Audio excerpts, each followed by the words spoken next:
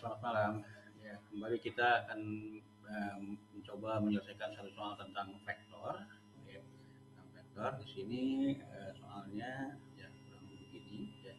Ini diketahui ya, uh, ada perahu P, ya, perahu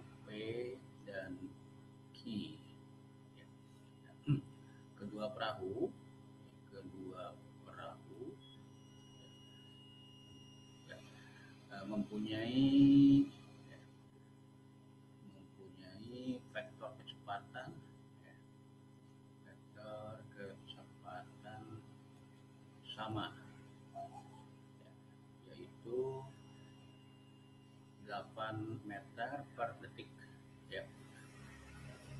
Nah, perahu P ya, perahu P dijalankan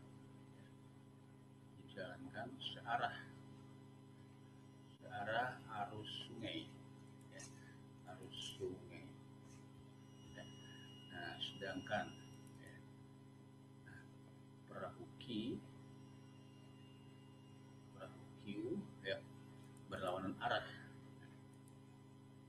berlawanan arah ya, dengan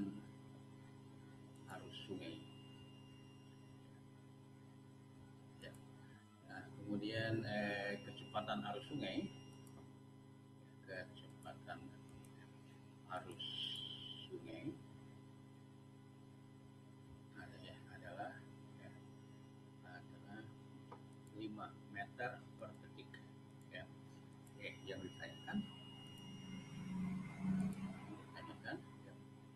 uh, resultan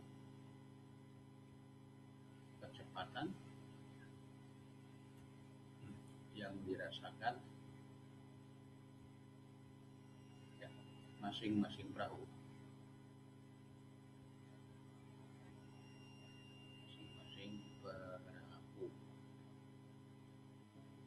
Ya. Oke ya. coba jawab ya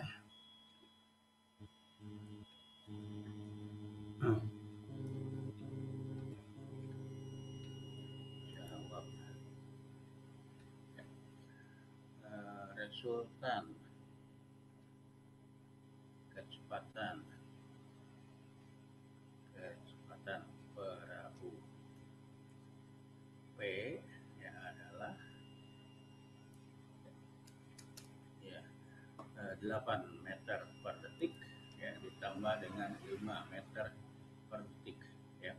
Ini sama dengan 13